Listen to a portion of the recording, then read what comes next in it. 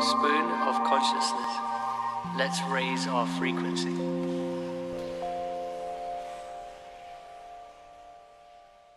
Welcome to the Spoon of Consciousness podcast. My guest today is Kerry, and I'll let her introduce herself.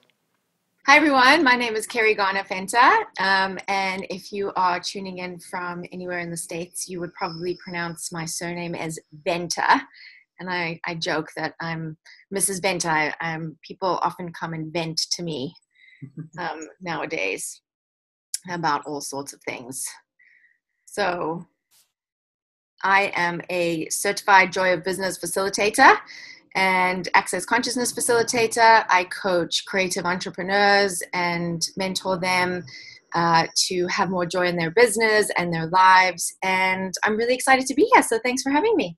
Thank you so much for joining us, Kerry. And um, the first question I have for you is what? So I've seen a lot of creatives trying to okay let's take the the classic stereotype for example someone is amazing at drawing either with comic books or paintings and stuff but they can't sell their work um, and they and they want to be the artist that can do it all um, do you think that it's necessary for them to team up with someone who can sell their work for them? Or would you take it on as a challenge to say well let's work on your ability to sell? That's such a great question. Um, and the the thing that I've found in my own experience and working with you know lots of different creative entrepreneurs and business leaders um, is really that the most valuable tool I can give them is to really be in the question around that and to ask what would create greater.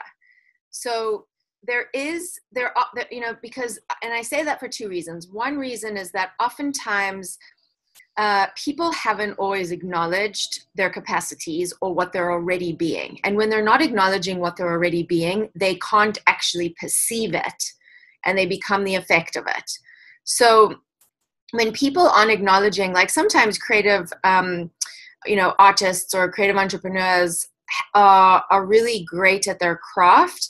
Um, but they are also great at other things that they haven't necessarily acknowledged that they're great at so that's that's one thing is like just just to really be in the question of like if i choose to engage in these activities what will that create and to get a sense of the energy of that. And if it sounds fun and if it's something that like actually would be a contribution then i would say go for it. Because especially when people are starting out in business like we have to wear a lot of hats right? Like you just it's a it's just a, a kind of a, a, thing that happens. And sometimes when you allow yourself to actually have the awareness of what will create greater versus having the answer or having the conclusion like oh well i'm just an artist therefore i won't be good at selling or i'm just an artist therefore i won't be good at the business if you're not operating from the conclusion and you get people to like start asking questions well what would it create if i did that um, and you follow the awareness instead, that often um, can really be helpful. The second reason I say that asking questions about that is is helpful is because um, when people are you know we've been the, this reality kind of perpetuates the invitation or not even it's not even an invitation it's just like perpetuates the the process of learning that which uh, will create a greater career for you, not necessarily what's aligned with what you would love to do. So, what happens is people end up learning things that they are good at or that they should do um, versus what they really would love to do. And mm. so, it's really about starting to ask those questions like, well, you know, did you actually love connecting with people and selling and you know engaging with people but you were told that you were so good at art that you shouldn't actually connect with people and like be in marketing or sales um, so it, it's like or did you learn that you should only stick to um, the the marketing and the sales and you know some more concrete more mainstream career and forget about the art right?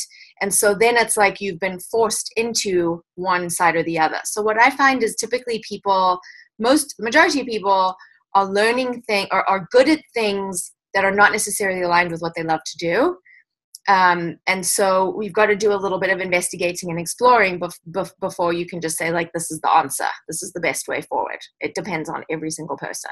Yeah, definitely, and and seeing seeing um, the way that thing the platforms are growing now, like social platforms. Um, basically, the internet has allowed us now to have skills and then present them to the world and then let the market decide. So kind of cutting out that middleman of being ha- like having to be able to sell.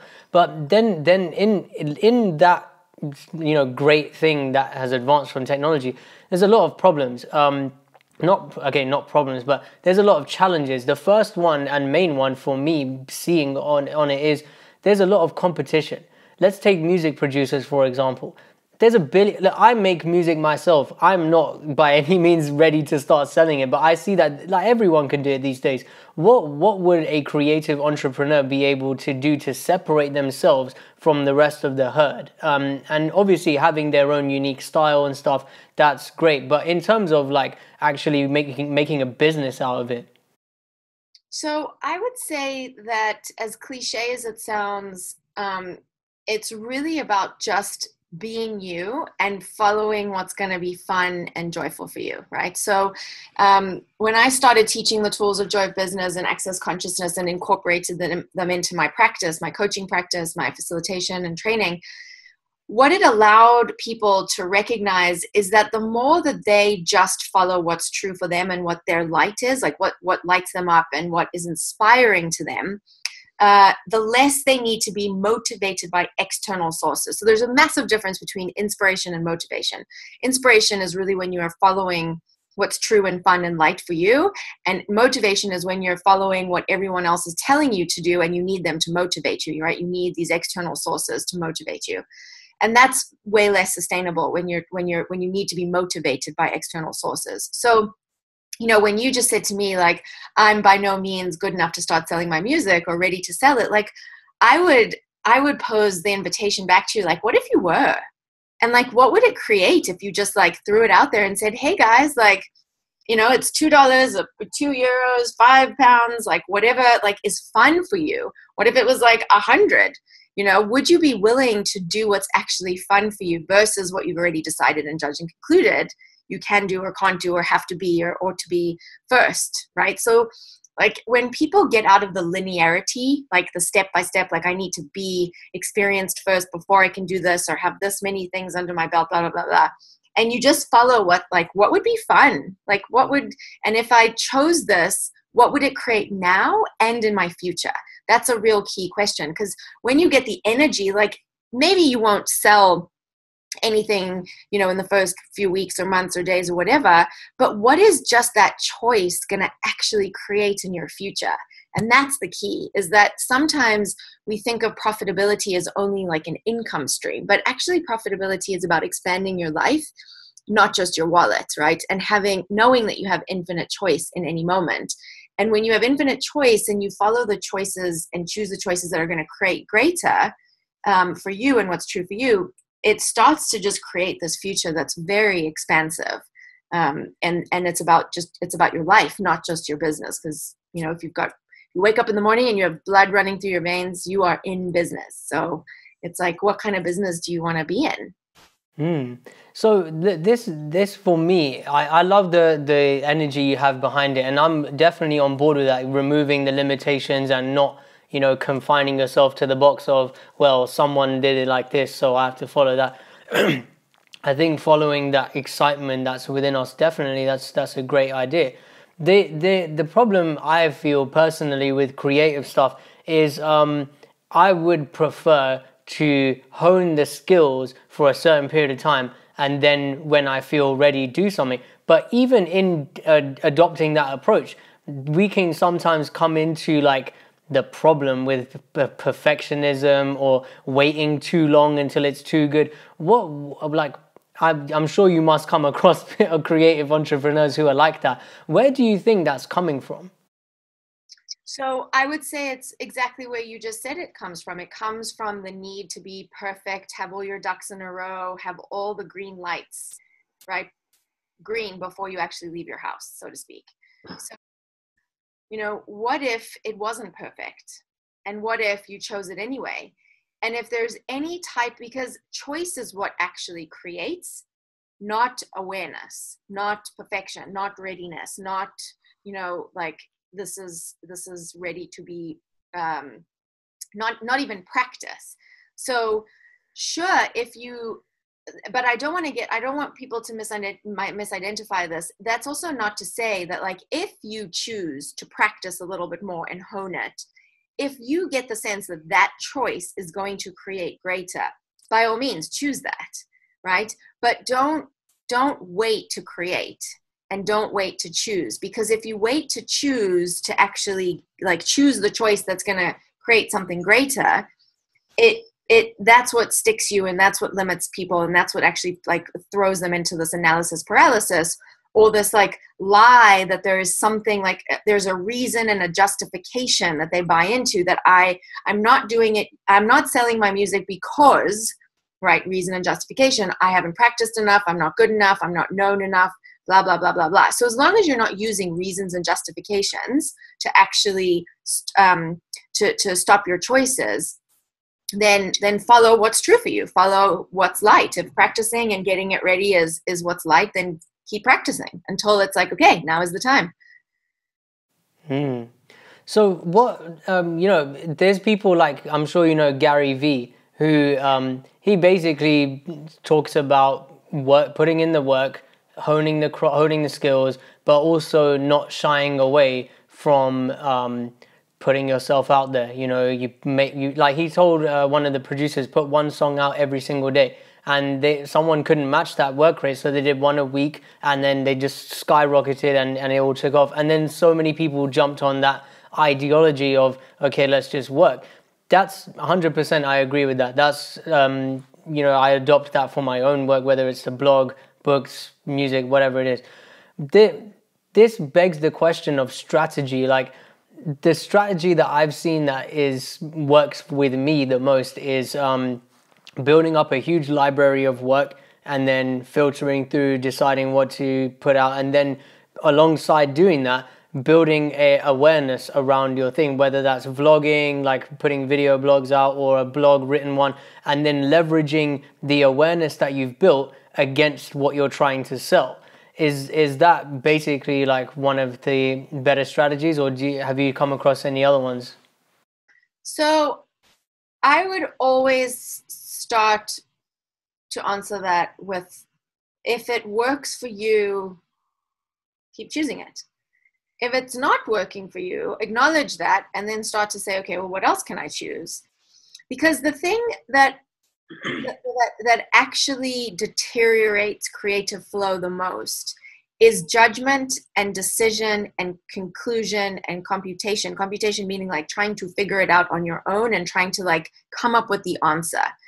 The more people so if you if you decide that is the best strategy and you come to that conclusion you'll never actually see what else is possible and what else could be a contribution to your your life and your business. And so that's the first thing. The second thing is that you know the strategy that you've just described um, is that actually allowing you to follow the energy in the moment right? Like if you're focusing on building up content so that you could then kind of reverse engineer it or repurpose it at a later point. Is that allowing you to be as present with what is in the moment as you would like it to be? If it is great. And if it's not then it's like okay well how else could i actually you know because the thing is is we as creative entrepreneurs will will get downloads all the time right? Like I, I don't know about you but i have like a little book that i'm constantly i have my notes on my phone. Um, and so there's there's absolutely um, it's absolutely a great idea to continue you know to capture all of that. But i would say that for those people out there that are like trying to you know like so, so for example a strategy that's often encouraged that's similar to this is like batch writing right? Like batch emails or batch blogging or batch blogging. But the thing with that is you know it doesn't give you the it doesn't give you access to the flow of energy and to what's actually relevant and happening for people in the moment and so as long again as long again as long as you're not getting caught up in that's the only way like i'm deciding that this is what i need to do now because choice and decision are very different like if you make a decision it cuts off all other possibilities. Whereas a choice is like good for 10 seconds. So cool, I'm going to choose the strategy. I'm going to batch for this day. I'm going to batch for this week. I'm going to batch for this month or this year. And if that if it's if it's not giving you what you would actually like, then it's about ch- changing your choice and just keep choosing something that actually will create something greater. Um, and and just being in that constant question of like, okay, if I choose to do it this way, what's that going to create? So as long as you're in the question of your strategies and you're asking what they will contribute to you and your business, then you'll actually get the awareness of what they will. Because the thing with decisions and judgments and conclusions is that people often ask questions based on that conclusion or that decision that they've already made. So they're like, oh, if I do this strategy, will I get this result that I have already decided is the result that I need and will and will want?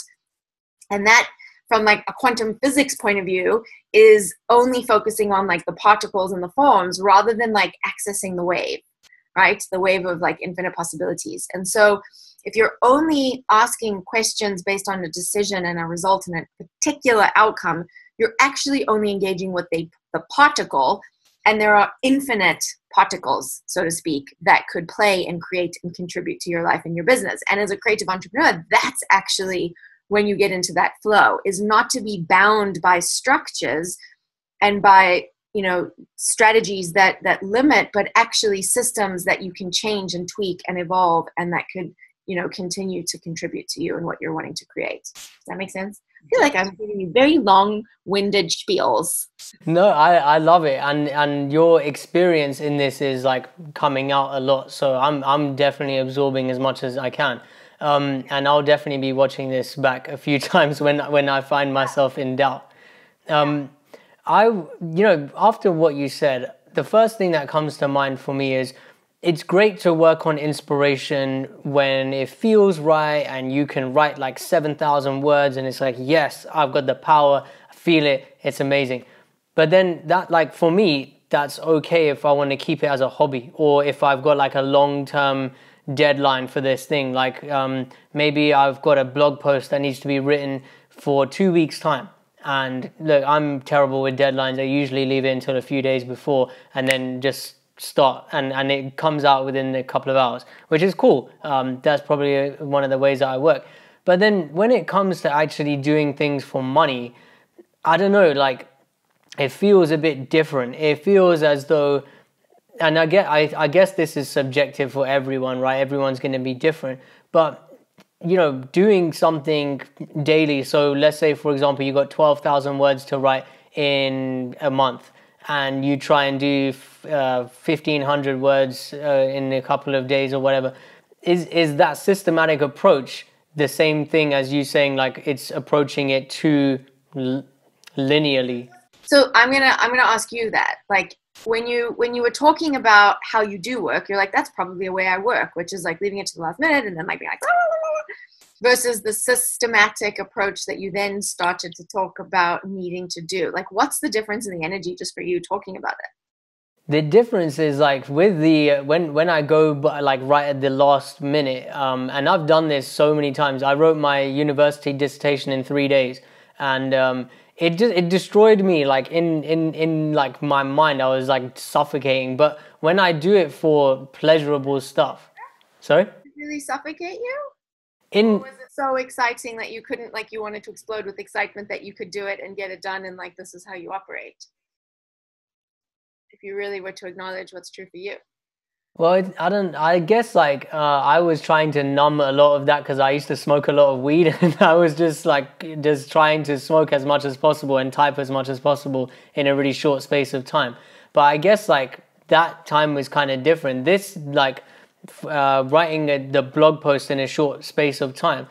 If I leave it to the last minute, I definitely feel there's a sense of urgency, which is great, and it helps me to produce something. But then on the other hand, I always think, well, it wouldn't have been better if I wrote like 100 words a day and then by now it would have been done. And I've done that before and it eases a lot of that tension. Okay. So then there's there's what works for you. If it eases a lot of that tension and that's what works for you, that's what's true for you. So mm. yeah. So what if there was no right or wrong? What if there was yeah. no better or worse, right? That's the judgment. Like judgment is not just like the judgment like someone is going to come down and judge us like and you know the wrath judgment is positive and negative good and bad right and wrong if i you know if i say to you you're a rock star you're amazing love your work you know whatever like those are positive judgments that i'm throwing at you and they're just as limiting as if i'm giving you uh, the opposite end of the spectrum, the negative judgments, both perpetuate polarity and duality and keep you in this cycle. Like basically, what happens is that each side of the charge of light, right, the positive, the negative charge, they, and this is the etymology of religion. Like religion, the, the original root is to religate. So it's like those charges then go on a on a quest, which is why I like quest ions, questions, because questions help re- religate those charges back to their full quantum state which is which creates light like light does not can't exist when unless the two charges have have come together and merged so literally this like quest and and search for enlightenment is is literally about collapsing the wave function collapsing the charge or judgment and bringing you back to what's true and light for you which doesn't have a point of view. There is no right, there is no wrong, there is no good, there is no bad, there is no better, there is no worse. And people in this reality are so addicted to charge, whether it's positive thinking, positive charge, support, right, and resisting the negative, that they create these like massive, um, literally like bipol- bipolarities that and these ions have to like start spinning and you know to, to try and religate and if you're not asking the questions that help to collapse those charges, you'll just continue to spin and spin and spin and spin and spin and revolve, not evolve. Mm. So, yeah. So it's like if you, so what if, and even in your questions, it's like, I'm so grateful that you're asking me all of these questions because it's like, you know, um, it, the questions are like, is this the right strategy? Right. And so it's like, what if it wasn't about the right strategy? Is it working for you? Yes, cool. And if it doesn't work for you tomorrow, would you be willing to change it? Yeah, that that's different. That's a huge part of the creative stuff that I was really having a hard time with in, in the beginning. You know, I was listening to people like Gary and I was producing a, a crap load of content in a really short space of time, and then I was getting burnt out. And then I was crying about it, saying, "Well, if I don't carry on this this work rate, I'm never going to get to this destination." And then I was having a conversation with someone. They said, "What if tomorrow you've you your excitement for podcasts just gone?" And I, I was like, oh my God. I felt it right in here. I was like, damn, that, that would be a shame. And he was like, yeah, but would you be willing to drop it if it no longer excited you? And I guess that's that's like a huge thing to consider. And and I thought about it for a minute. I was like, if I don't enjoy it, the content's going to be terrible. The people are not going to like we are not going to enjoy the interaction, and uh, it's going to feel forced. So I would rather take a break than put out crappy content and and no one be happy with it. So I think that's like for me though I acknowledge it as like a comfort zone of well this is the strategy that I've picked and if I remove myself from it then I'm going into the unknown and that's scary and yeah and so and so so i love this. So the, the thing about scary and fear is like what if fear was actually what we had misidentified and misapplied as excitement of the unknown? Mm. as excitement of the unknown right? Because it's like this and and it is. It's it's it's a space it's chaos. It's unpredictability. It's out of control. You are not in control. There is no formula. There is no process. But that's the wave. That's the wave function of light, right? So it's like wait, light acts in two ways simultaneously. It's either a wave function or it's the particles and the charge. And so in each moment, you have the choice to like ride the wave of infinite possibilities and choice or like get stuck in the world of duality and polarity and like just keep spinning and spinning and spinning and spinning trying to figure out what's right and and avoid what's wrong yeah i think that can i you know, from my own journey, that whole battle of right and wrong can really cripple us in our execution. Like, uh, look, I, I'll be honest with you, Kerry. I've written two books in a very short space of time. The third, there's supposed to be six in the series. I haven't even got into the fourth chapter of the third one because I'm crippled by the execution of, oh, but it needs to match up with this. And but then like having these conversations and and having this awareness and asking these questions, it's like, well, why does it have to match up with that? why can't we come back to it later on? Why can't we change those to match up with this? And then subsequently change. Why do you have to do one, two, three, four? Why can't you do six, three, five, one, two, and and bounce around? And since I adopted that approach, um, I'm not gonna lie to you. I haven't finished the books, but like it's it did definitely makes approaching the creative project a lot uh, more anxiety free and, and relieves a lot of that ill feeling towards it. So, with that being said, like, do you have any tips for people who are wanting to take their creativity from a hobby to then a business? So, I would say that the minute you you make your your hobby and what you love into a necessity, you're going to kill the creativity. So, it's like, what if you actually valued your hobby and actually was like, what would it take to create to actually like generate some money from this? What would be fun for me to charge? You know like what do i love about like just and just to keep following the joy in business so that because your hobby your, your life is your business you know? You it's not like so so when people try and create separation so the tip is like don't create separation between your life your business your hobby like what if all of it was just contributing and generating and and could be a contribution to you? And what contribution can you be to all of those different entities to your hobbies to your business entities to different income flows? So you know there's particular kinds of people creative entrepreneurs and and we we thrive when there's actually more on our plate um, contrary to what a lot of people say which is like stick to your focus find your niche like you know only hone in on one this this one thing. It's like how often does that actually work for people? And and so again it's like don't buy into the lies that may work for other people or whatever they're selling and perpetuating because it's like you know i don't know about you but when i have lots of different projects and things in my in my space and in my world i feel alive. And and i enjoy the communion and the communication that i have with those things. So the thing is i would say the second tip is you know separate in order to not separate you've got to start to recognize that everything is energy and everything has consciousness. Like all like the chair that we're sitting in the the tv the monitor screen the cameras um you know from nature like everything it's it's undeniable now right? Like it's just it's proven and now science is trying to figure out like can i swear like what the fuck like what like what is this like what do we do with all of this space because it's actually 99.9999999% space including us um and energy and consciousness and so with that it's like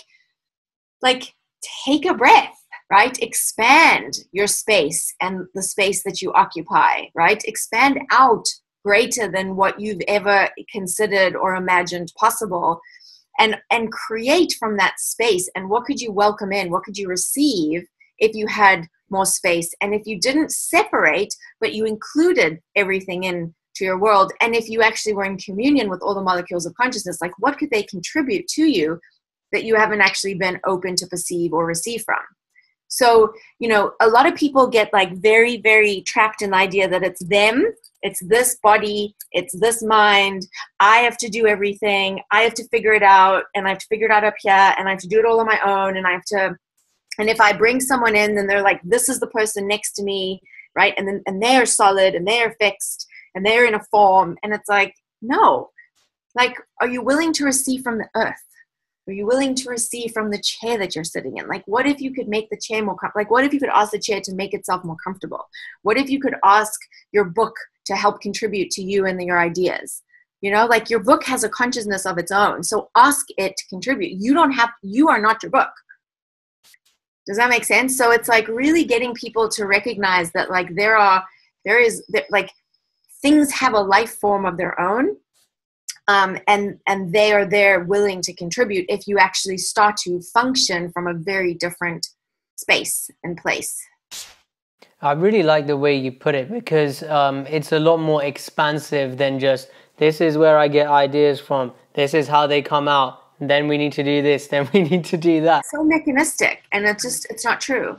Yeah, I think that's a really uh, bad trap I've fallen into. We, you know, on the topic of judgment, calling it a bad trap. I think it's a good trap as well because, like, from recognizing where you've gone, you know, not excitement found there. I don't even know. Can't even get the words out now. from from looking at where the, these things have lost their excitement for you along the way, we can see what's no longer resonating with us and I particularly have found that going into nature and asking the earth or the air around me to give me an idea oh my god like um, me and my friend tried this thing right? Uh, we were both having writer's block which doesn't exist.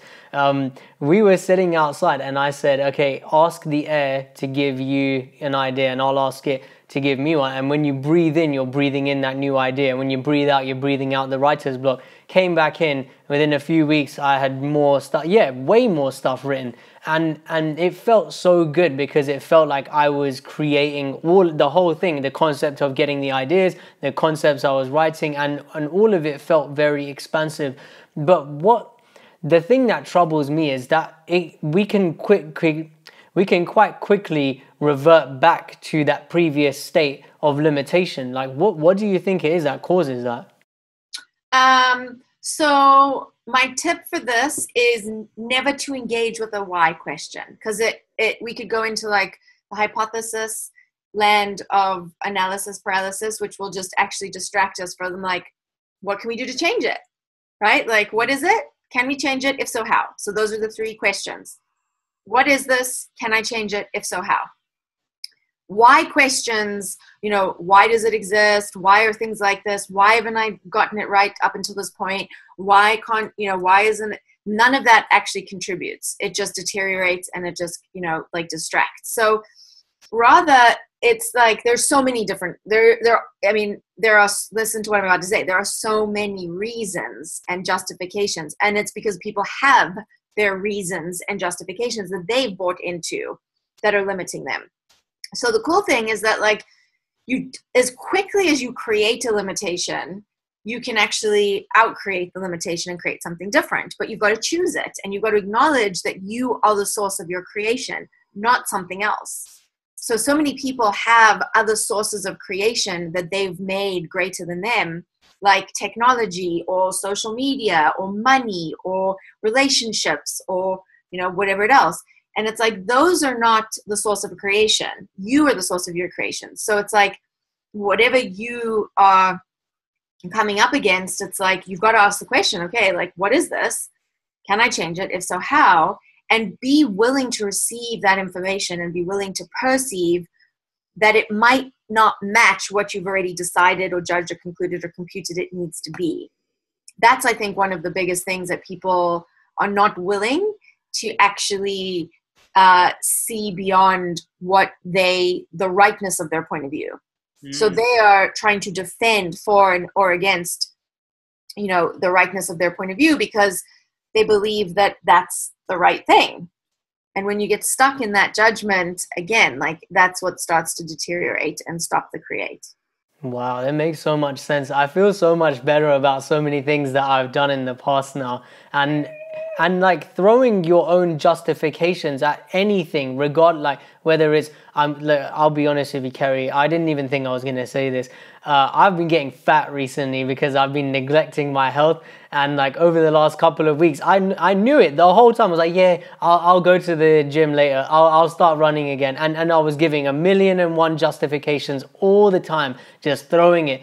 And then i thought to myself like why am i justifying the bad behavior well, bad. Why am I justifying the behavior that's getting me these results? If I want something different, I have to change it. And then I started adjusting my eating habits again and doing exercise and stuff. And yeah, it, it's like immediate change around instead of being in that disempowering position of, oh well you know that's just the way my mom was like oh it's in our family don't worry about it that that's a horrible justification to me that's the last thing i want to hear is oh you're getting fat yeah totally and and that's it Sachin. it's like people don't they that's it's funny um you know that is operating from two things unconsciousness and anti consciousness. So, unconsciousness is when you're not even aware of the fact that you're spewing out these lies and these beliefs and these points of views that you've bought as true that are not, right? Anti consciousness is when you know that your body is telling you something or you have an awareness and you choose against it. And whenever you choose against your awareness, it starts to wreak havoc in your life and your business and your whatever. Yeah, yeah. So it's really important for people and and awareness is like a whisper. It's the like little tickle that we all just like push to the side or neglect or avoid or ignore because we've decided that like we have to have an answer and we have to have bells and whistles and you know this person telling us and strategies and like the it's like but that little voice that's actually true for you gets totally pushed to the side when that's the awareness. Like that's what's actually going to create something greater. You're so right. And you know even not in business but um in in life like when we ignore our intuition um the thing inside of us that knows the awareness the the consciousness that's driving the vessel like when it's trying to like you know hey listen like you know stay away from that person or don't eat that or whatever it is like when we ignore that i know this firsthand. For like the majority of my life it's like this twisting knot that keeps getting tighter and tighter and tighter until it just snaps. And and that's when you have the breakdown in the grocery store for no reason and everyone's looking at you and you're like it shouldn't have made me cry but it did. Um, Kerry, you've dropped some serious knowledge on, on me today and I'm really thankful for that. Um, I'm really interested like how did you get into your your lifestyle oh wow um, so how did I get into my lifestyle yeah, like what the stuff that you're doing right now.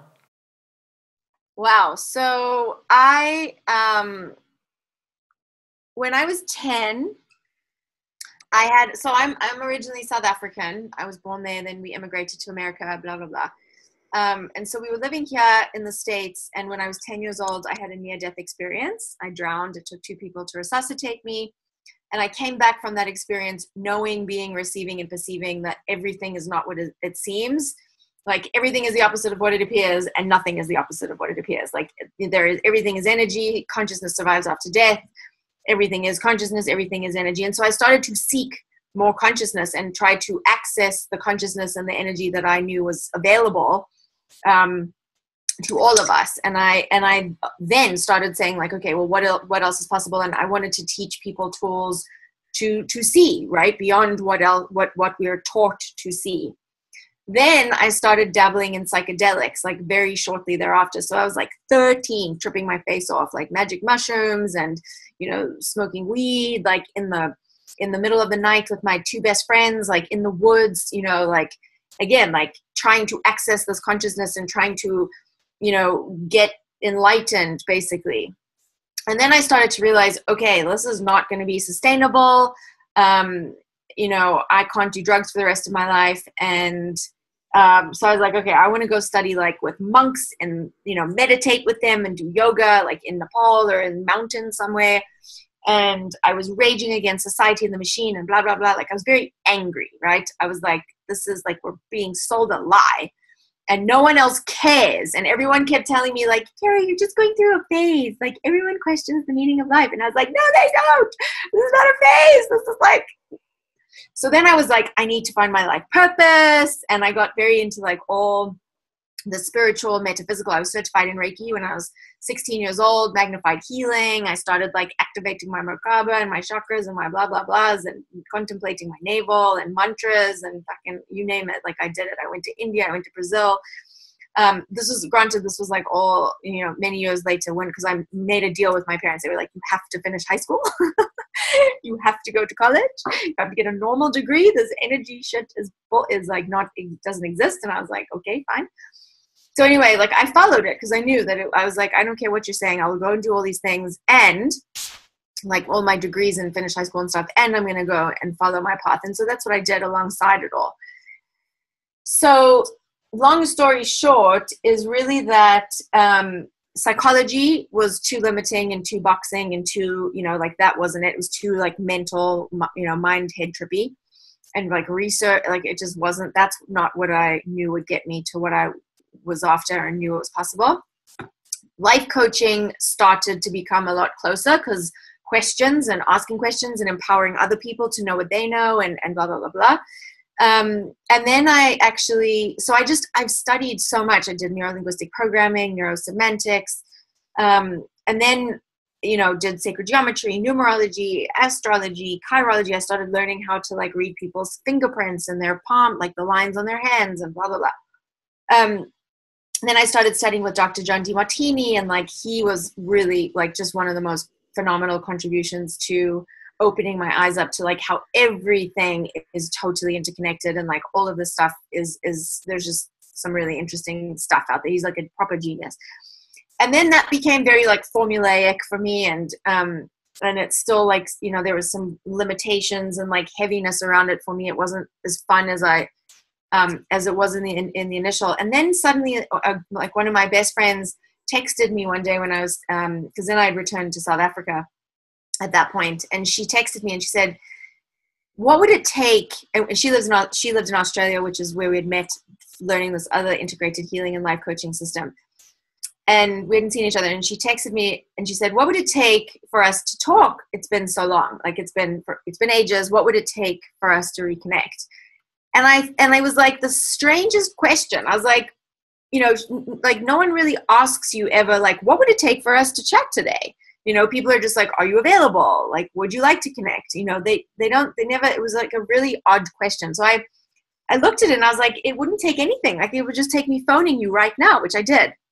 And that was the beginning of the end of everything that I knew and the beginning of the biggest and greatest adventure of my life so far. And, and how does it get better? And so um, she told me about these tools um, and this company called Access Consciousness. And I basically just knew that it was something I needed to start to explore. And so I literally um, have been practicing and studying and getting certified and coaching and integrating these tools from access consciousness into my life and business for the last like almost 15 years um, and so and it's one of the only things that like has just grown with me and continue to contribute and expand and you know just be such a gift and and nothing else ever did and I, like i can now see how all the even the spirituality you know and the metaphysics that i was involved in and the coaching, like how all of it um, had some form of limitation built into it.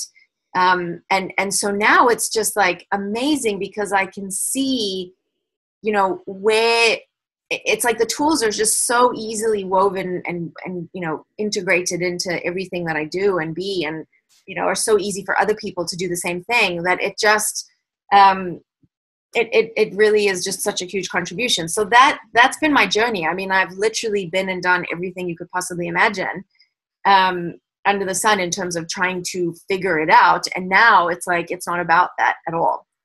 It's just a whole new way of being in the world um, which is you know way more fun and that's what i'm after that sounds amazing. And so you you've done stuff that I'm still like really excited about doing later on um, one of the things that I always think about is I would love to just live on the, you know, like how you hear about hermits, I think they're called, who like just live on top of mountains. They don't talk to anyone, they don't involve themselves with the world, and they just meditate and they eat from the land and stuff.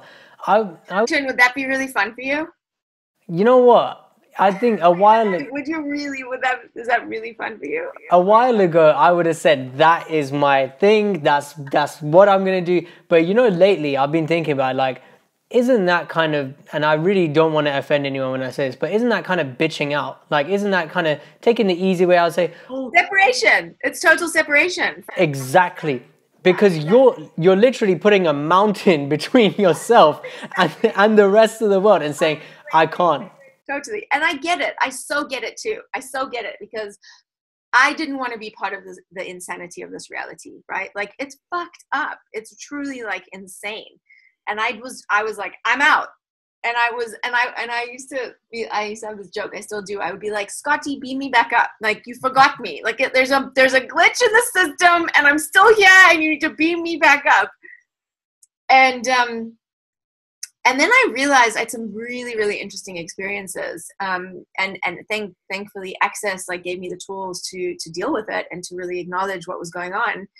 Um, because firstly, like after all the drugs that I had done, which I mean, it was it wasn't like I've you know it was really only the psychedelics, but I mean, I used to value them, right? And I used to I used to have these experiences where I like on the drugs, I would be like exposed and open to like all this information and then what happens with drugs is it like locks it into this particular part of your brain and then you no longer have access to it again afterwards when you're sober which makes you which which creates this like cycle of like okay well i need to go back and get that information but then and so so i was dealing with that and i was also dealing with all the like these different beings and these different entities and energies that i had absorbed while on those drugs that you get opened up to. And i so once i cleared all of that out it like made the biggest difference in my life firstly. Secondly when I started to realize, like when I started to just to just be me, like when I started to like release all the different energies and entities that were kind of you know hanging out with me, um, I started to regain like my total choice of like I can choose to leave whenever I want, and that doesn't mean like my body needs to die. Like I, the being, can choose to leave at any time I want, and any everyone has that choice. And so when you know you have that choice, and that you don't have to kill your body, right? it changes the game totally because it's like okay cool like who else wants to come in like i'm done new being you know like you put up a little friend sign and people are doing this unconsciously all the time. As soon as there's like a life change or something that's stressful or overwhelming or some type of trauma or drama people are not even aware of the fact that they're putting up a little friend sign energetically to be like i'm out of here. And then other people come in other beings come in that are like okay cool like let's have a body let's experience this. And if you're not clearing those original occupants like it can feel like you are going absolutely nuts and that you're you know you've got multiple personalities or whatever or that you can't ever focus or you can't ever like finish something because literally you've got multiple decision makers so to speak who are trying to vie for the attention and it's like no one ever teaches people how to deal with these things or that this is even going on and when i started to like you know truly uh, clear all of that and like just just like just be the being that I want to be in this body and like know that if I want to leave, I can leave at any time. It just, uh, the gratitude that I now operate and function from and with, like to be here, right? To really be here, like, yay, it's so fun. Like, okay, fine, there's this insane reality that exists, but we can create beyond it. And like, what if we are the beings that are here to invite people into what else is possible and to create something so different where there is total joy and ease and glory and like that, you know, like glory is just exuberant abundance. Like, what if that is a possibility? What if we're not crazy? Um, and what invitation can we be for people to to know that they're not crazy, you know, and that they just have never been given the tools um, to to actually deal with with being here. That's the thing, though. When you when you say like we are here to invite other people, perhaps to another way of living, and obviously not by preaching or anything, just by living as an example of what we. Right, exactly.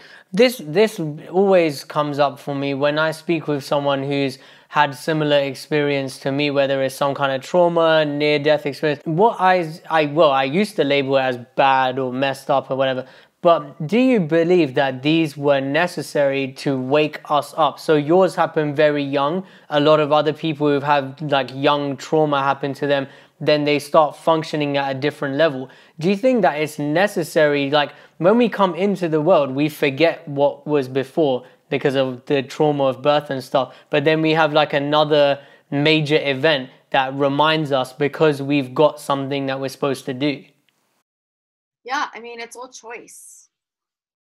It's all mm-hmm. choice. We're all choosing consciously, unconsciously, or anti consciously. We are all choosing all the time. So I know now that, you know, at 10, it was a choice. It was a choice. I remember the question that I asked. I created that whole experience. I've created multiple diseases in my body that I've actually cleared because I chose, I was like, that's it's not fun. That wasn't a cute choice, right? So we, we talk about being cute, not bright. It's like that was a cute choice, but not my brightest moment. So again, there's like there's no judgment. It, it wasn't a wrong choice, it wasn't a fucked up choice. It just created so much awareness. And if you're choosing against your your your, your if you're choosing against your awareness, you're still going to create awareness of what that choice created.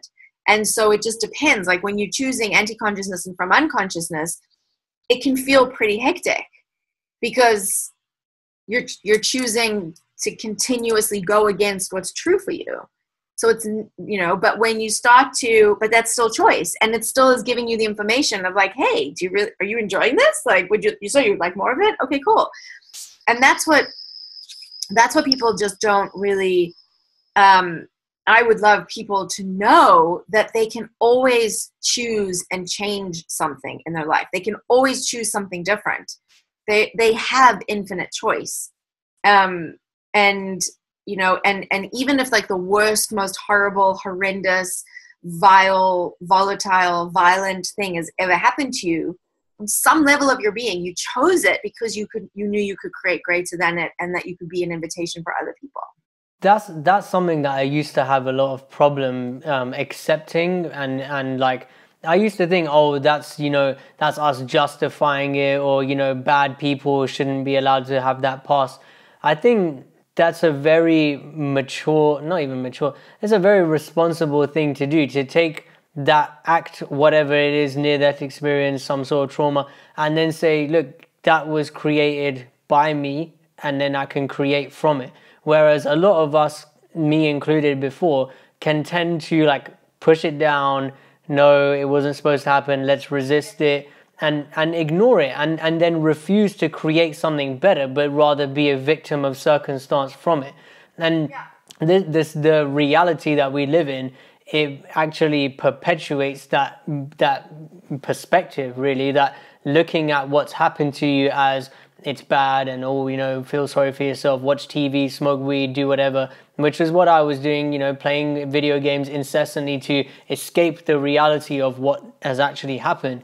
And then place yourself in one where you know your choices don't mean anything. You are just you know floating through this life and whatever happens happens.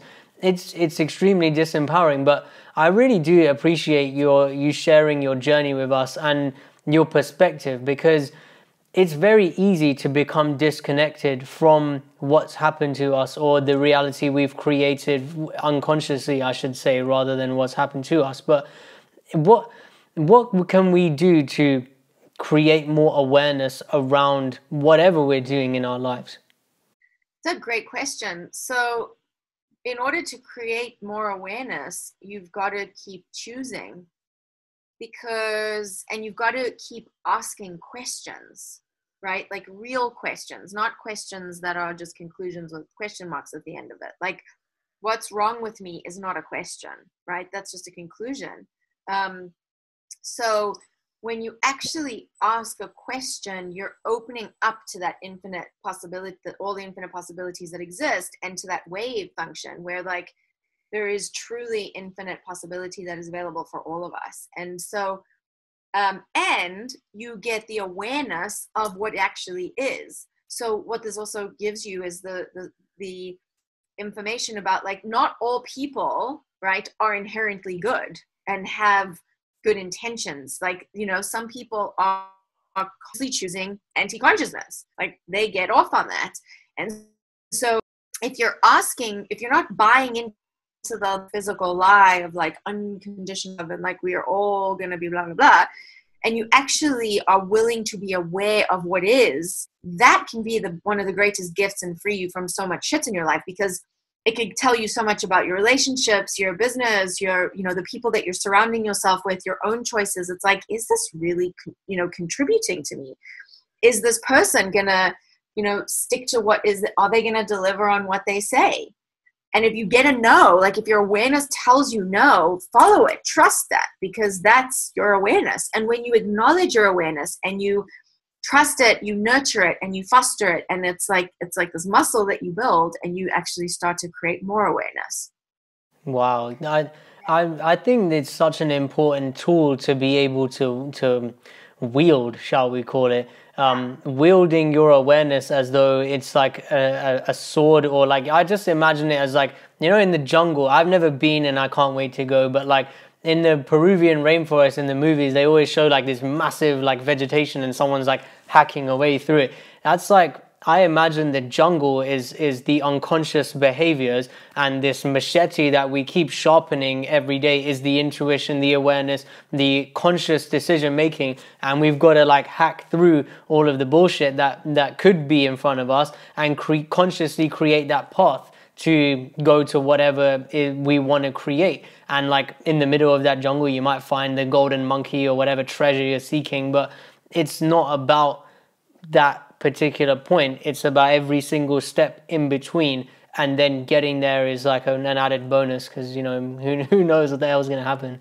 Um, Kerry, it's been really great speaking with you. Uh, I hope we get to do this again sometime as well. I love it. This has been such fun. And I mean, I just want to thank you for you know really creating a space and a place for people to explore consciousness and the, the gift that it can be for them in their lives and so yeah like totally nama namaste and just um keep keep on keep on like maybe maybe it's not spoonfuls of consciousness maybe it's but it is it's like you know no one con- no one ever said that consciousness is going to be like easy right but it definitely creates ease ease when you are being conscious. And sometimes people just require a spoonful of consciousness because that's like all they can they can handle in that moment. And that is just an acknowledging you acknowledging that you're meeting people where they're at you know? Mm-hmm. and like if you try and give them too much it's really just going to not be a, a contribution. It's not going to be a kindness. And so